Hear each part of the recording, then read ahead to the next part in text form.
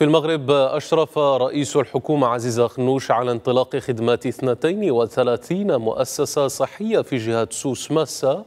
وأوضح بلاغ لرئاسة الحكومة أن السيد أخنوش أشرف بحضور كل من وزير الصحة والحماية الاجتماعية ووالي جهة سوس ماسا عامل عمالة أكادير إدوتنان ورئيس جهة أو مجلس جهة سوس ماسا والنائب الأول لرئيس المجلس الجماعي لأكادير على افتتاح مركزين لصحة الشباب تلبرجت وتدارت ومركز آخر للترويض والتأهيل الصحي. وأعطى الانطلاقة لدخول 29 مركزا صحيا الخدمة بعد إتمام عملية إعادة التأهيل والتجهيز.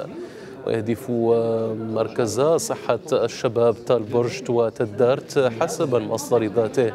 إلى تعزيز العرض الصحي الموجه لفئة الشباب ما بين 10 و 24 سنة وتقديم خدمات طبية وتمريضية تشمل الفحوصات الطبية العامة والمتخصصة على غرار طب العيون والطب النفسي وطب الأسنان وطب الأمراض الجلدية وغيرها.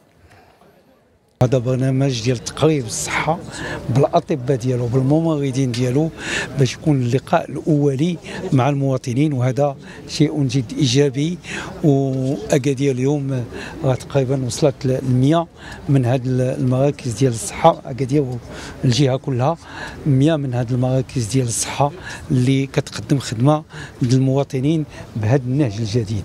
آه ثانيا آه هذه مناسبة أنه آه كتشوفوا حنا في واحد يعني الحديقه عمومية اللي تعملت في إطار البرنامج يعني الوش الملكي اللي هي فيها القرب من الساكنة قرب المدارس انفتاح العالم الخارجي. وهذا الشيء كيخلي أنه مدينة اكادير اليوم عندها واحد الجاذبيه اللي هي كبيرة في هذا الميدان ديال لا التعمير ولا يعني المساحات الخضراء.